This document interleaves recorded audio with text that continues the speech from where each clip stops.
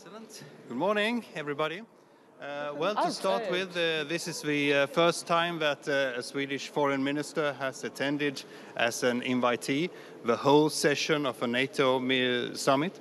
And I have to say that this has been a very productive meeting for my part. I think it's very good that both Sweden and Finland were uh, able to attend as invitees, and we have shown very clearly that we are ready now to face all the challenges ahead. We are ready to provide, when we have become full members, uh, more security for Europe, more security for the, for the world, but more particularly, we are also coming with well equipped and well trained troops in order to strengthen NATO uh, in its northern flank. So I am very happy so far with this meeting. I think it has shown the resilience and also the ambition of NATO to stand up for uh, in front of a Russian aggression against Ukraine, a topic which has been hotly debated in here.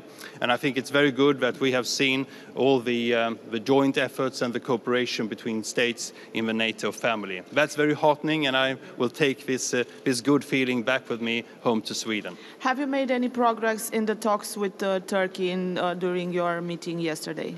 Yes, as a matter of fact, we had a very good bilateral yesterday between Sweden, Finland, and Turkey. And I have to say that I felt after this meeting that yes, there is progress uh, in line. We are moving forward with the uh, implementation of the trilateral memorandum, which was signed in Madrid.